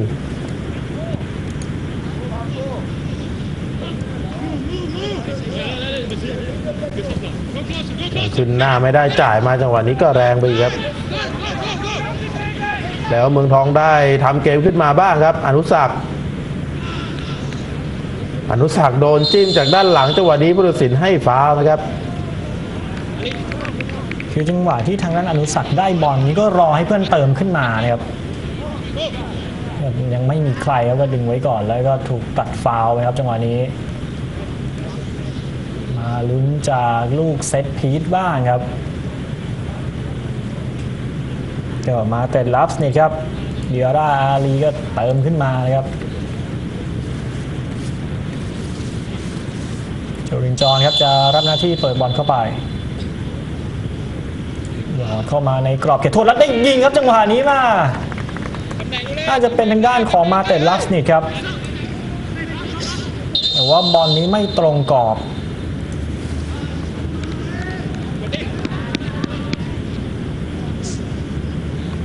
แล้วก็จะมีการเปลี่ยนตัวครับ ทางฝั่งของ SCG เมืองทองครับ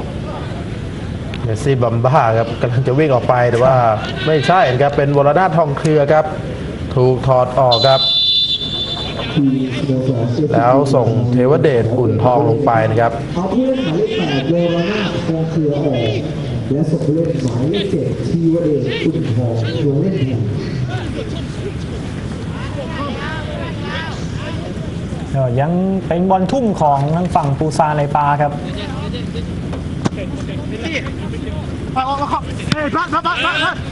ครับตามเอาบอลไม่ได้แล้วก็พยายามจะเปิดเข้าไปแต่จังหวะนี้เสียฟาวเลยครับวิลเลียมดาซิวา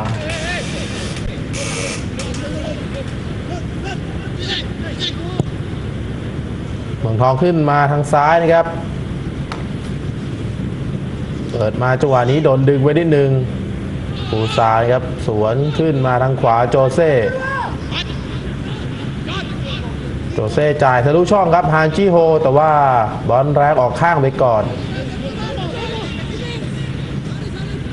เมืองทองนี่ดูเหมือนครึ่งหลังก็เปลี่ยนเอาทางคริสต์มาสสมเป็นลงมาด้วยนะครับ หมายเลข 15 เมื่อสักครู่ฮะ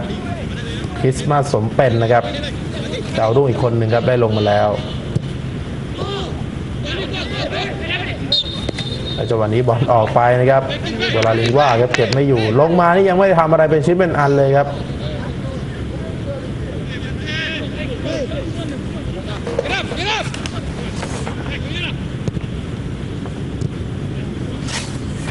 เนี่ยบอลส่วนใหญ่ของทางฝั่งปูซานไรปานี่ก็จะอยู่ในแดนของตัวเองครับ คือไม่ไล่ก็ไม่ขึ้นมาครับครับนี่ครับเคาะกันสั้นๆ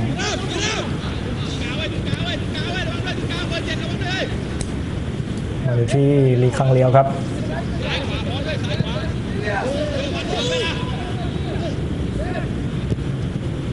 พลิกบอลออกมาได้ครับทางฝั่งของปาร์คจองวู นี่ครับกลับมาใหม่ มีครั้งเดียวมาที่จางฮังยองเอาครับลิงซัมยับไปเองครับจังหวะนี้ ได้โอกาสเปิดบอลเข้ามาก็ลึกมาถึงทางด้านของโจซัสซิล่าอ่ายังช่วยกันได้ดีครับเกมรับของ SCG เมืองทองซิล่าครับ ยังไปได้ครับหลบมา 2 คนถึงเส้นหลังแล้วเปิดย้อนกลับมา ไม่ผ่านมาติดลัฟเนสจอริงจอนครับยังได้อยู่จ่ายเข้ามาตัวลาลิงว่าคืนกลับหลังมาครับตั้งกันใหม่ครับชวลิตชวลิตจ่ายมาอนุสักจะเบิ้ลคืนก็ติดอีกครับบอลออกข้างไปแล้วไปโดนปูซานออกด้วยครับ เป็นเมืองทองได้ทุ่มนะไปโดนริมสั่งยับครับออกข้างไปก็ต้องเร่งเกมหน่อยครับทางด้านของ SCG เมืองทองบอลอยู่ที่ปฐมพล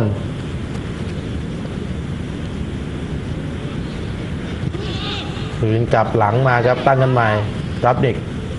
ให้กับเมสซี่บัมบ้า เอาจังหวะนี้เหม่อเกินไปครับ แต่ว่าเดียร่าอาลียังเก็บบอลไว้ได้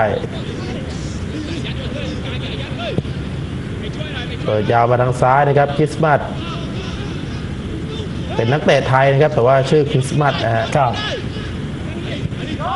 แล้วจ่ายทะลุช่องมาครับสำหรับทางปูซานไอปาร์คเดียร่าอาลียังเก็บไว้ได้ครับ หลังสังวานนี่เกือบจะได้หลุดไปแล้วก็จังหวะนี้ปั๊มกันได้ฟาวล์อีกแล้วที มีการเปลี่ยนตัวเพิ่มนะครับ เอาคนทำประตูออกนะครับสำหรับปูซานครับ บางสังวานีโดนถอดออกนะครับ แล้วก็ส่งผู้เล่นหมายเลข 26 ครับ ลีเจงกิครับลงไปเล่นแทน ลงมาได้บอลเลยครับ ลีเจงกิลากลุยเข้าไปไต่เส้นจังหวะนี้เดียร่าครับอื้อหือผู้ตัดสินบอกว่าบอลออกไปแล้วครับ เป็นศูนย์หน้านะครับลีเจงกิ Just, don't worry, get back in, get back in, son. Just get back in. Fuck off, Jake. Well. เอ่อได้ทุ่งเข้าไปครับทางฝั่งของปูซานในปาร์คจางทางยองครับ Okay, okay, okay. มาตามมาได้ครับ Okay, William, William. วิลเลียมพลิกบอลไม่ได้ครับอ่าโดนดึงเอาไว้ครับแล้วก็เห มือนจะเป็นใบเหลืองด้วยนะครับจังหวะนี้นี่ครับพอจะไปแล้วก็ถูกเหนี่ยวไว้ก่อนครับดึงแล้วก็ปล่อยครับทางของเทวเดช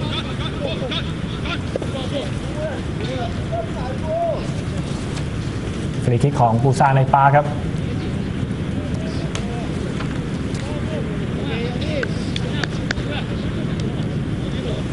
เกมผ่านไป 71 นาทีนะครับ ซานไนปาร์คยังนำอยู่1ประตูต่อศูนย์เปิดเข้ามาก็ยังมงไว้ได้ครับเดียร่าลีเองจะได้ลุ้นจากลูกเตะมุมนะครับ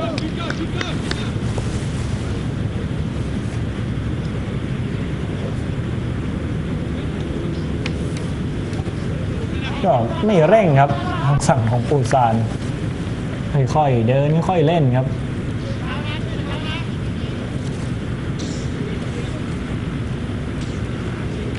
ปาร์คจองวูครับให้สัญญาณ เปิดบอลเข้ามาเสาแรกครับ มาที่ปาร์คจองวูอีกครั้งคราวนี้หยอดมาเสาไกลก็ลึกออกไปครับนี่ครับรับหน้าที่เตะลูกนิ่งครับให้กับฝั่งปูซาในปาครับปาร์คจองวู วิษณุศักดิ์ครับ เปิดเกมขึ้นมาใหม่เคาะกันอยู่ตรงกลางสนามครับวิลเลียม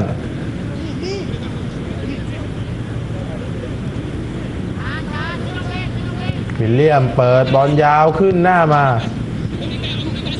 เมืองทองเก็บได้นะครับแต่ว่าจ่ายไปติดครับแล้ววิลเลียมครับ กระโดดบอลยาวขึ้นมาไม่ถึงแล้วก็วิษณุศักดิ์ออกมาคว้าไว้แล้วก็ ผู้ตัดสินบอกว่านี่ผู้เล่นของปูซานน่าจะล้ำหน้าไปก่อนเลยครับ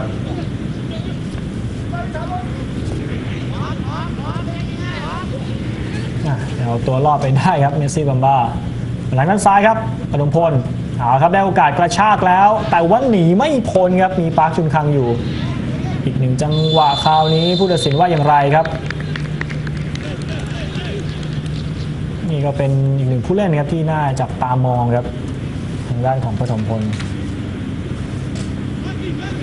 เนี่ยความสามารถเฉพาะตัวแล้วก็ความคล่องตัวนี่ค่อนข้างสูงเนะครับเอ็นซีบัมบ้าครับมาที่บราวินว่าย้อนกลับมาที่ชาวลิตครับถูกบีบพื้นที่ให้ต้องเล่นเร็วแล้วครับทางฝั่งของเมืองทอง ได้อีกครั้งครับเมซี่บัมบ้า อมโบราลินว่าครับไปเองนะครับแบบนี้แล้วก็อ่าโดนตัดฟาวล์ครับมีลีคังเลียวครับเบรกเกมไว้ก่อนน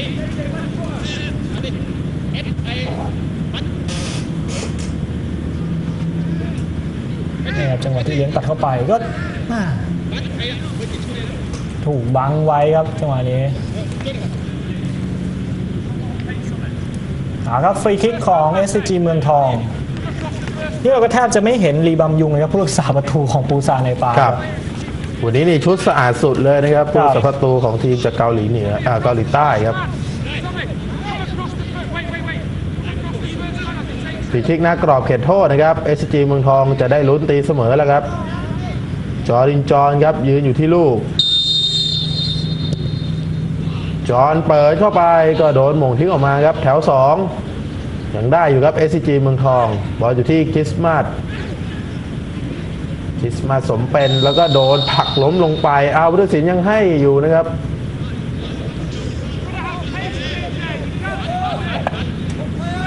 ต้องดูว่าให้ฟาวหรือให้เป็นลูกทุ่มครับ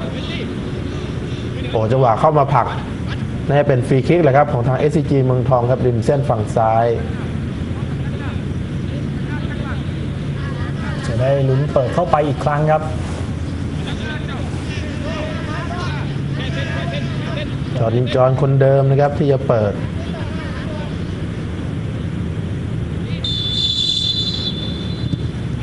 เปิดโด่งเข้ามาก็เข้ามือครับรีบัมยุงรีบัมยุงเปิดเร็วขึ้นมาเลยนะครับ ทางขวาวิ่งคั่วมาครับโจเซ่ ไม่ไหวครับ พยายามบอกให้เปิดให้เข้าในครับ อย่าเปิดแบกออกมาด้านข้างครับก็ไม่คันเหมือนกันครับจังหวะมงขึ้นให้กองมาเตะบลัสนิดครับ พอเร่งเกมก็เสียกันง่ายครับเมืองทองก็ขาดความแน่นอนครับในจังหวะการจ่ายบอลครับ ทีมชุดนี้ของ s c เมืองทองมีเจงกีครับ ย้อนกลับมาอันจิโฮ คราวนี้ผู้ตัดสินก็ไม่ว่าอะไรครับ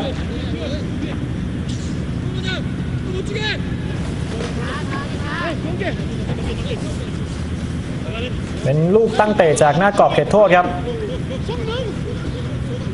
วิษณุศักดิ์ครับ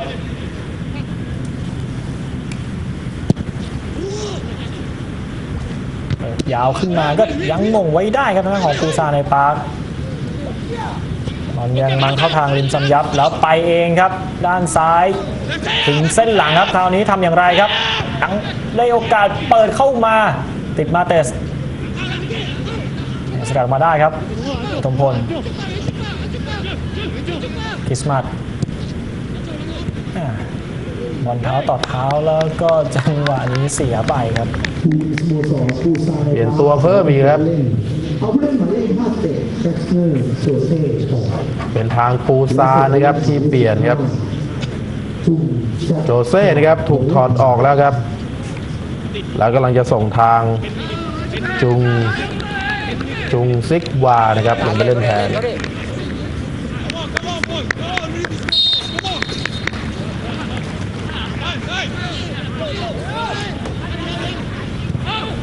ปูซานเองพวกเขาก็เล่นสบายเลยครับนำอยู่1-0ครับถึงแม้ว่าจะโดนตีเสมอก็ยังได้เข้าชิงนะครับครับ เมืองทองนี่ถ้าจะเข้าชิงนี่ต้องชนะสถานเดียวครับ ห้ามเสมอเด็ดขาด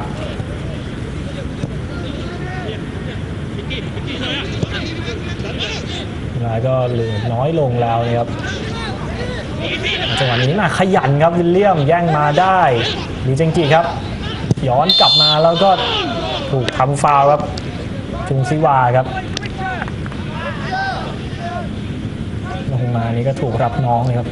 นี่ครับพยายามจะไปแล้วก็จากด้านหลังครับเป็นเทวเดชครับนี่ตามเข้ามาตัดฟาวไว้ก่อน สีหน้าเครียดเลยครับหน้าผู้ฝึกสอนของ FCG เมืองทองในชุดนี้ฟรีคิกของปูซาในปาครับ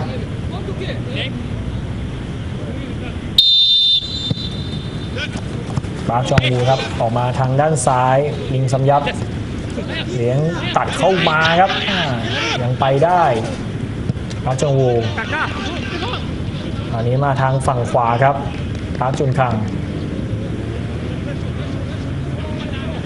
ก็กำลังจะเข้าสู่ช่วง 10 นาทีสุดท้ายนะครับของการแข่งขันศึกช้างชลบุรี Invitation 2013 ครับ วันนี้เป็นวันสุดท้ายของรอบแบ่งกลุ่มนะครับ ที่รับชมมาอยู่เป็นเกมในกลุ่ม B นะครับคู่ระหว่างปูซานไอปาร์คกับ SCG เมืองทองครับปูซานจากเกาหลีใต้ครับนำอยู่ 1-0 ผู้ชนะของคู่นี้นะครับจะได้ผ่านเข้าไปชิงชนะเลิศกับชนบุรี FC ในวันที่ 30 มกราคมนะครับ ส่วนผู้แพ้นะครับก็จะไปชิงอันดับที่ 3 นะครับ กับทางบินเยียงจากประเทศเวียดนามนะในวันที่ 30 เช่นเดียวกันส่วนนี้ SCG เมืองทองครับ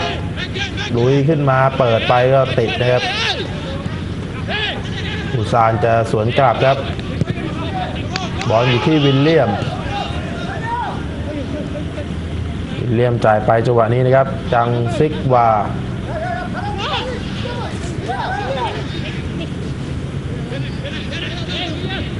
ยังพลิกมาได้ครับจางซิวาขึ้นมาที่วิลเลียมครับ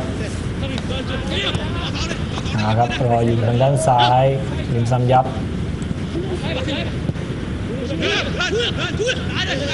นี่ครับพาร์คจองวูออกมาทางฝั่งขวาเติมขึ้นมาแล้วได้โอกาสเปิดแต่ว่าก็ยังไปติดผู้เล่นของ SCG เมืองทองครับจังหวะนี้ผู้ชายมาเปลี่ยนตัวเปลี่ยนตัวอีกแล้วนะครับปูซานฟ้าจองวูออกทีมและส่งผู้เล่นหมายเลขคนที่จะลงไปใหม่นะครับ ทางทีมโดยเล่นแทนชิมอุงจินนะครับ ลงไปแทนปักจองวูนะครับเดี๋ยถอดจอมทัพของทีมออกเลยครับ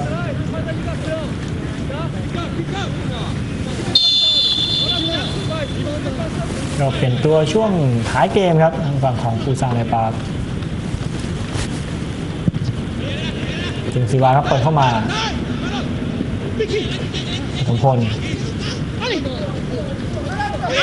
อ่าเดียร่าครับถูกเบรกไว้ก่อนครับลีคังเรียวครับ ลงไม่ทันแล้วนะครับต้องเบรกเกมไว้ปฐมพลครับ ตอนนี้โยกมาอยู่ทางฝั่งขวาอีกแล้วครับ ตรงกลางครับสำหรับทางปูซานจุงซิกวาเปิดไปทางขวา มันกลับมาที่จุงซิกไวครั้งนึงครับทำชิ่งกันจังหวะนี้เมืองทองตัดได้ จอรินจอนโอ้โห วันนี้จอรินจอนจ่ายนี่ผิดไปหมดเลยนะครับ นี่ลูกจ่ายง่าย ๆ นะครับ เพื่อนเน่วิ่งขึ้นหน้าไปแต่แกจ่ายย้อนหลังไปครับพลาดกันง่ายๆครับทางฝั่งของ SCG เมืองทอง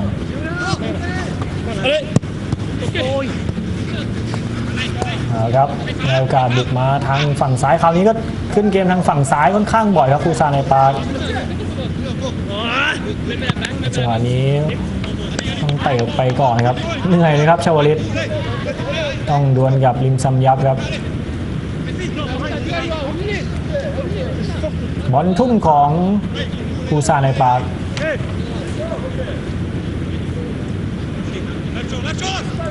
ทุ่มไกลครับ มาได้ไม่ได้เมซี่บัมบ้า Hold on, Messi.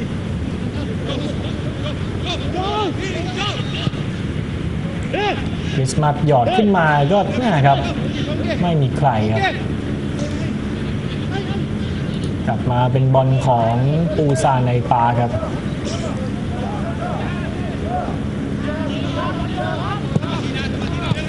จ่ายยัดมาตรงกลาง คอยต่อบอลกันขึ้นมาครับทางฝั่งของปูซานพักชุนคัง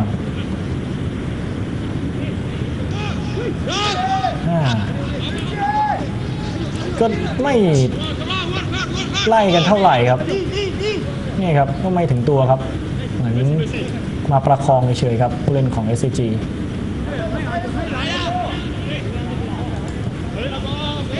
ทีมมุงจินครับ มาที่ปาร์คยองโฮขอสั้นๆกับวิลเลียมปาร์คยองโฮครั้ง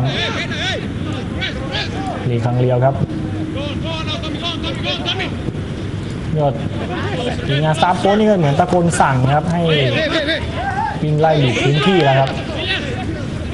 นี่ครับทอมบูราเรนว่าพยายามที่จะไล่จังหวะนี้ ฟาวล์ไว้ก่อนครับเมสซี่บัมบ้าไม่ทันแล้วครับตั้งให้ตรงจุดก่อนครับนี่ครับหยุดไปแล้วก็เกี่ยวเอาที่ข้อเท้าเลยครับชิวาครับลงมานี่โดนสองดอกหนักๆไปแล้วนะครับจังหวะเข้าประทะ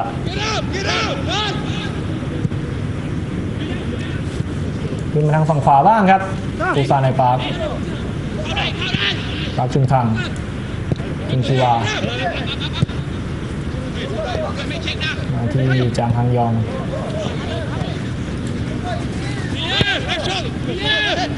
เอาค่อยๆต่อบอลกันขึ้นมาแล้วจังหวะนี้อ่ายังบังไว้ได้ครับโทลิสแล้วก็ถูกเหนี่ยวล้มลงไปครับ เวลาเหลือไม่เยอะแล้วนะครับครับ 5 นาทีสุดท้ายครับ Don't get เมืองทองต้องการอย่างน้อยอีก 2 ประตูนะครับ เพื่อเข้าไปชิงชนะเลิศนะครับ ส่วนปูซานครับ ก็ชิวๆครับ เสียประตูยังได้เข้าชิงเลยครับวันนี้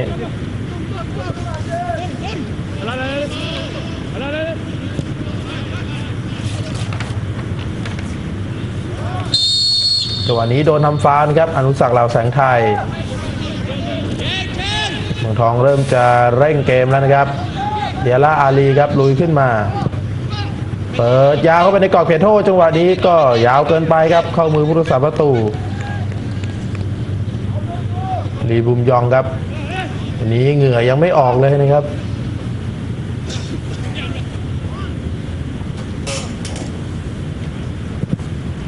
เปิดยาวขึ้นหน้ามา คริสต์มาสมองได้ครับ แต่ว่าไม่มีใครครับตรงนั้น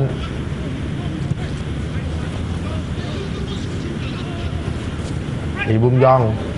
โอ้โหแกจะไปเลี้ยงหน้าโกลอีกแล้วนะครับส่วนนี้ครับปฐมพล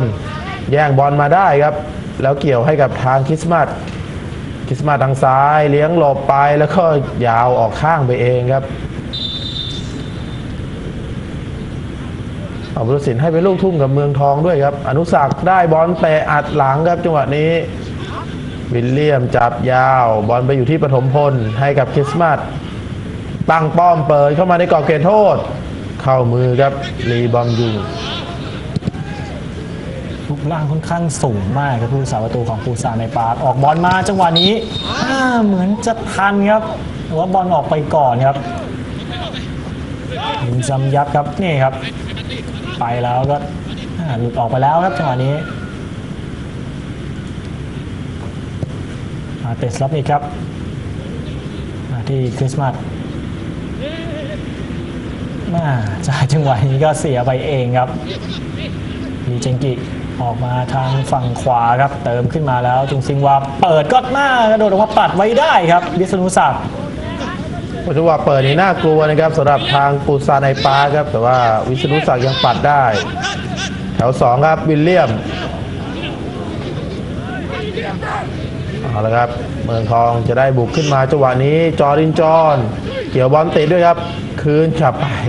เบาอีกแล้วครับจะมีผู้เล่นบาดเจ็บด้วยนะครับเตะออกไปก่อนนะครับ ฝั่งของปูซานในปาร์คหมายเลข13ปฐมพลนะครับปฐมพลเจริญรัตนาพิรมครับ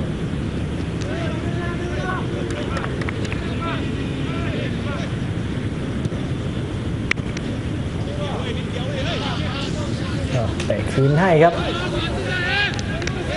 แอนดูออสครับวันนี้ ก็ไม่ได้เครียดอะไรมากนะครับ ถือว่าจะว่าไปเจอกับปูซานนี่ก็แพ้แค่หนึ่งศูนย์ก็ถือว่าไม่น่าเกลียดนะครับ เพราะวันนี้เมืองทองเองก็เป็นชุดสำรองนะครับที่มาเล่นในรายการช้างอินวิเทชันนะครับทดไปอีก 3 นาทีนะครับในครึ่งเวลาหลัง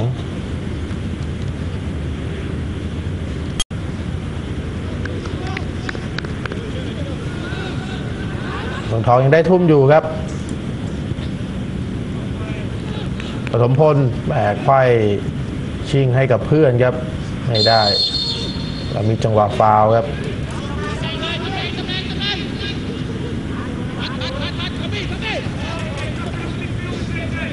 หาเข้าสู่ช่วงท้ายเกมแล้วครับ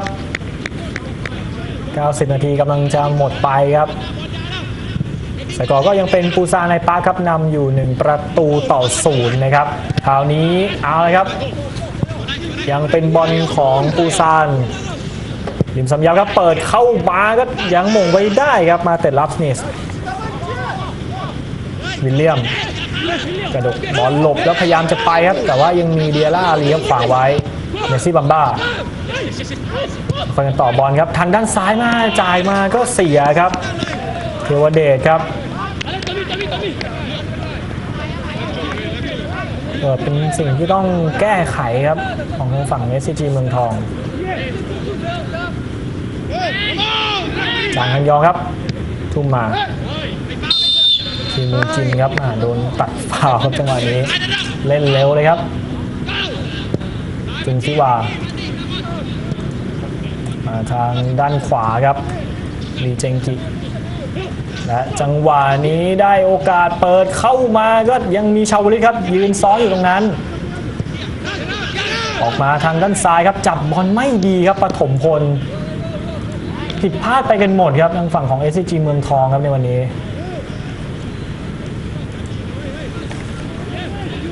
บอลทุ่มของปูซาในปาครับ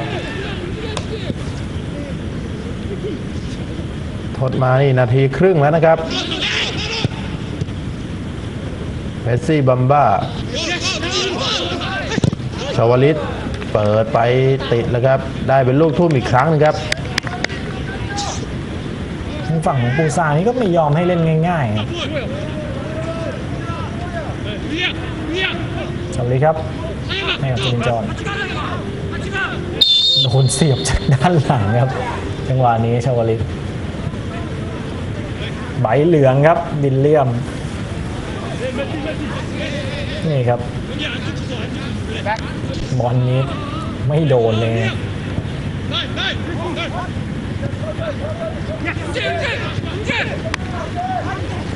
นะครับพยายามจะเบียดแย่งให้ได้ครับแล้วผู้ตัดสินเป่านกหวีดก่อน ก็เป่าจบเกมไปเลยนะครับ ก็จบลงไปเรียบร้อยนะครับสำหรับศึกฟุตบอลช้างชลบุรี Invitation 2013 นะครับครัคู่สุดท้ายของรอบแบ่งกลุ่มครับปูซานไอปาร์คก็เฉือนเอาชนะ SCG เมืองทองไปได้นะครับ 1 ประตูต่อศูนย์นะครับ ก็ทำให้ปูซานไอปาร์คนะครับ ก็คว้าแชมป์ของกลุ่ม B ไปได้สำเร็จนะครับ ส่วนทาง SCG เมืองทองก็ได้อันดับที่ 2 ของกลุ่ม B ไปนะครับทำให้ปูซานในฟ้าเนี่ย